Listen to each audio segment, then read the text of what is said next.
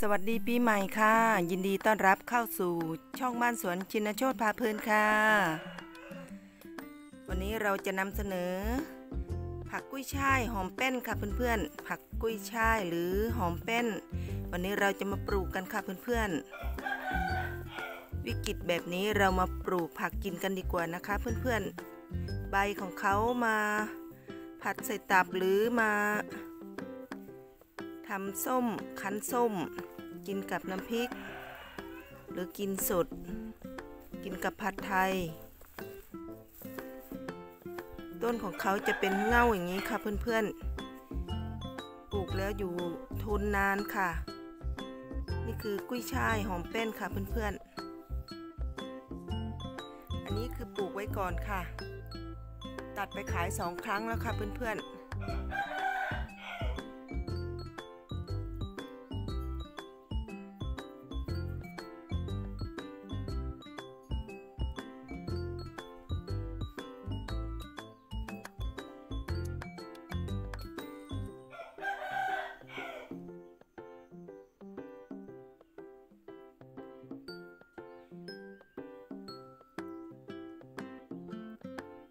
ไปค่ะเพื่อนๆเราไปปลูกกันเลยค่ะ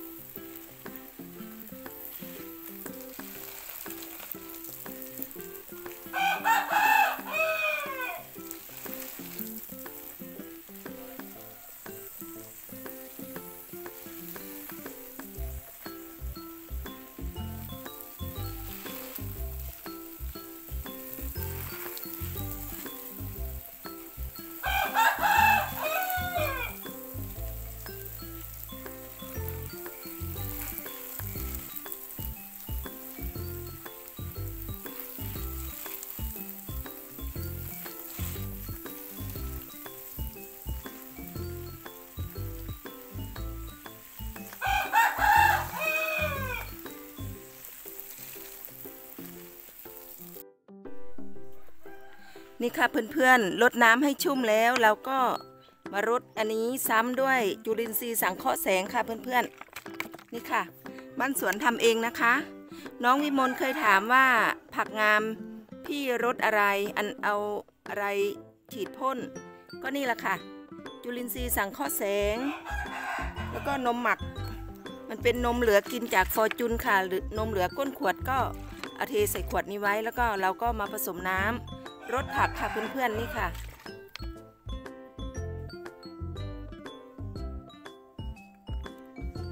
นี่ค่ะเพื่อนๆ แล้วก็มาเทใส่เลยค่ะเพื่อนๆ เทใส่พอประมาณค่ะ ไม่มีแก้วตวงเนาะ นี่ค่ะเพื่อนๆ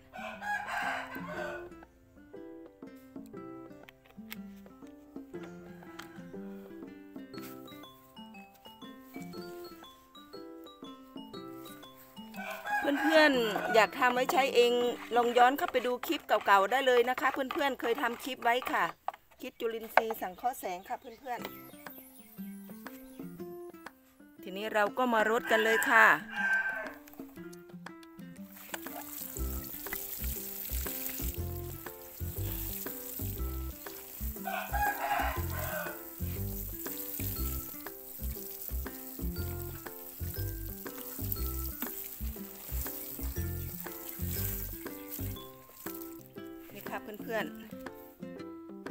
ีสังเคราะห์แสง ฉีดพ่นอาทิตย์ละครั้งก็ได้ค่ะ เพื่อนๆนี่ค่ะ แดงดีมากเลยค่ะ บ้านสวนทำไว้เยอะค่ะเพื่อนๆเป็น 30 ขวด บ้านสวนมีหัวเชื้อแล้วเวลาทำก็เอาหัวเชื้อนี่ใส่ค่ะเพื่อนๆ อย่างขวดนี้ก็ผสม ผสมได้ประประมาณเป็น 10 ขวดนั่นแหละค่ะเพื่อนๆ นี่คือหัวเชื้อของเขาค่ะ นมเพื่อนๆถ้าเพื่อนๆไม่มีนมไม่ไม่ได้เลี้ยงหลานหรือไม่มีนมเก่าก็ไปซื้อนมเนาะซื้อนมแล้วก็มาเทใส่ไว้ แต่ก็ต้องเปิดเกลียวเบาๆไว้นะคะ เปิดเกลียวแบบอย่างนี้ไว้ เปิดเกลียวอย่างนี้นะคะ ไม่งั้นเขาจะระเบิดนะคะ เพราะว่าเขาเป็นแก๊สนี่แหละค่ะเพื่อนๆ วันนี้ก็พาเพื่อนๆปลูกหอมเป้นนี่ค่ะเพื่อนๆ อันนี้เป็นเปลือกไข่เปลือกไข่เพื่อนบ้านเอามาให้ค่ะเพื่อนๆเอาตากแดดไว้ให้เขาแห้งเขากรอบแล้วก็บี้ๆใส่นี่ค่ะ ลูกไว้ค่ะเพื่อนๆ เป็นพืชผักหลังบ้านเราไว้เก็บกินเก็บผัด เก็บผัดกินกับผัดไทย เพราะว่าโรคระบาดกลับมาอีกแล้วไม่รู้จะหายตอนไหนเนาะเพื่อนๆเนาะประหยัดได้ก็ประหยัดเนาะคลิปนี้ก็ขอลาเพื่อนๆไปเพียงแค่นี้ก่อนคลิปหน้าเจอกันใหม่สวัสดีค่ะ